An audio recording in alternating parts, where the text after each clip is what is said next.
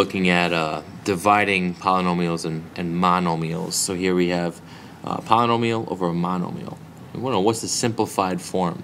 So how do we handle this?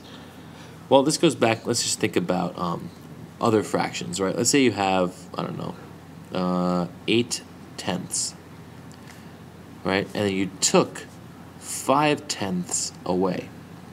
What would that really be? Well, that would be 3 tenths, right? But what's happening here is that what you're doing is you're saying, well, 8 minus 5, we're doing that operation in terms of tenths. So really here, 8 minus 5 over 10, that still equals 3 tenths. That's the same thing as writing it like 8 over 10 minus 5 over 10.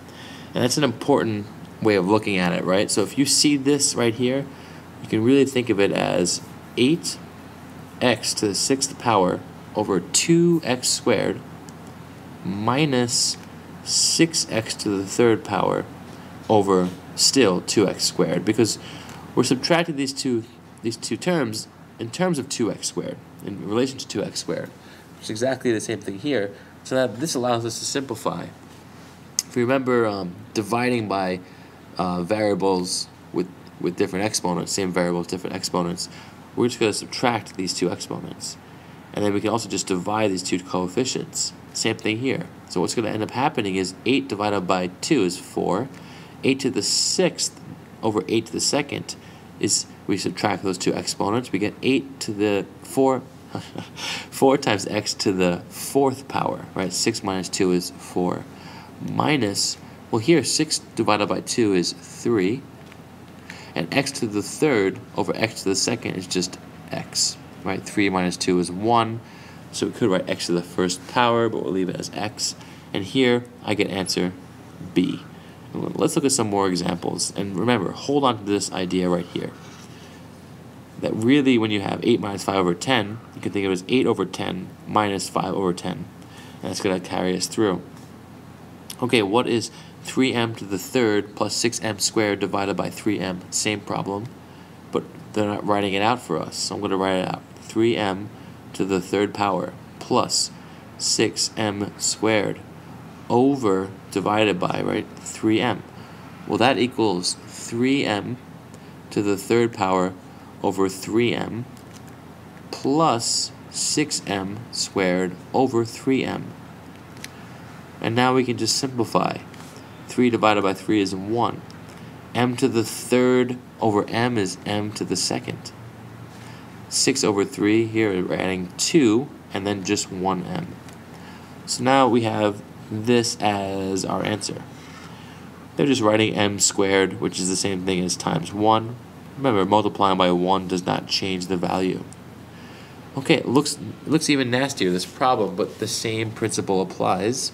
We have 3x to the 6th over our denominator, over 3x squared, plus 9x to the fourth over 3x squared minus 6x squared over 3x squared still, right? So that denominator is over each part in the numerator.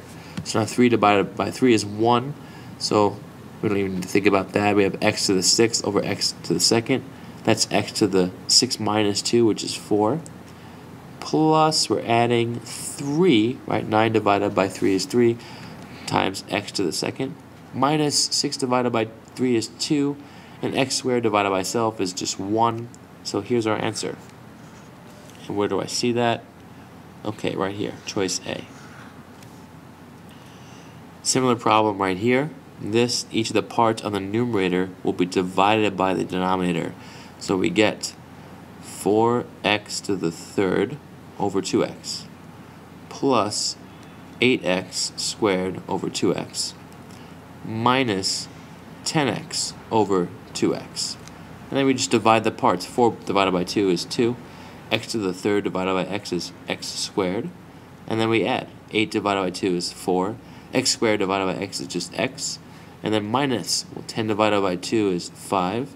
x divided by x is just 1. So here's our answer. It's choice A.